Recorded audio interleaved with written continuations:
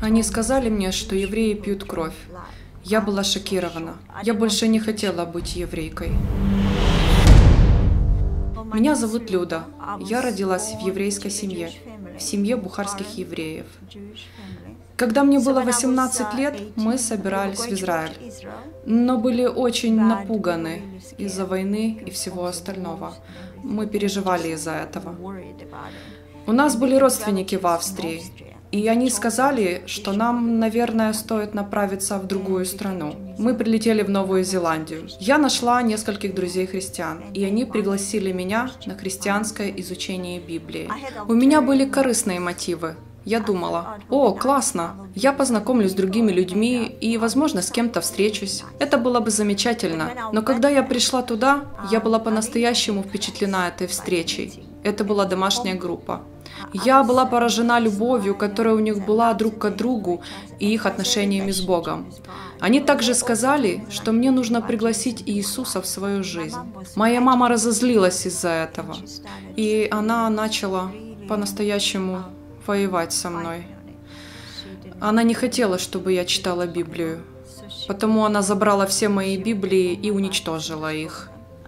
Когда я задавалась вопросом о том, кто такой Иисус, я просто читала и находила различные стихи в Библии, которые говорили об Иисусе и пророческом голосе Бога.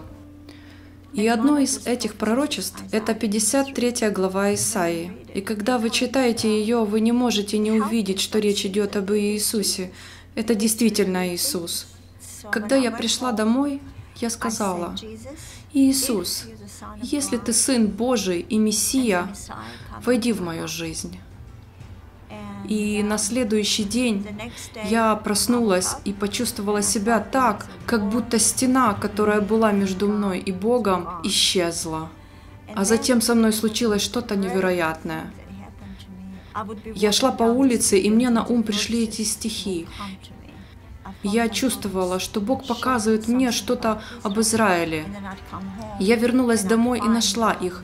Открыв Библию, я нашла стихи из 31, 32 и 33 глав Иеремии о Божьей любви к Израилю, о том, что Бог возвратит Израиль, и весь Израиль спасется. И это так. Всю мою жизнь мне говорили, что быть евреем — это плохо.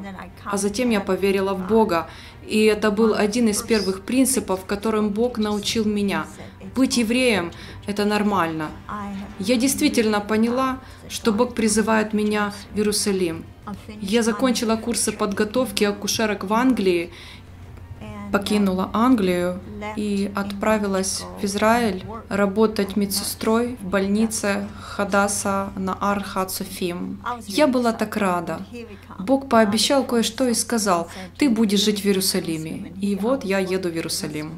Второе обещание, которое Бог дал мне, связано с моей мамой. Я очень переживала. Я хотела, чтобы она поверила в Иисуса так же, как и я. Однажды она рассказала мне о том, что с ней произошло, когда она гуляла по дороге возле моря по одной стороне дороги.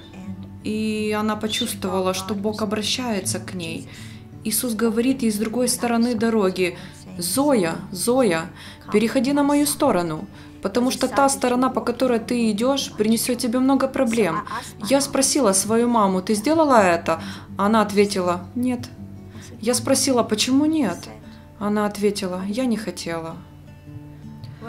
Ну, она пережила много неприятностей, много страданий, много проблем с здоровьем, много проблем с тем, как она воспринимала то, во что я верю. И я была с нею во время всех ее неприятностей. И когда она уверовала, прямо перед своей смертью, это было прекрасно. Это был долгий путь борьбы с Иисусом и борьбы с истиной. И он закончился тем, что она поверила в Иисуса. И вот все эти обетования, которые Бог дал мне, они все исполнились. И это просто невероятно. Это жизнь полная радости, жизнь полная приключений.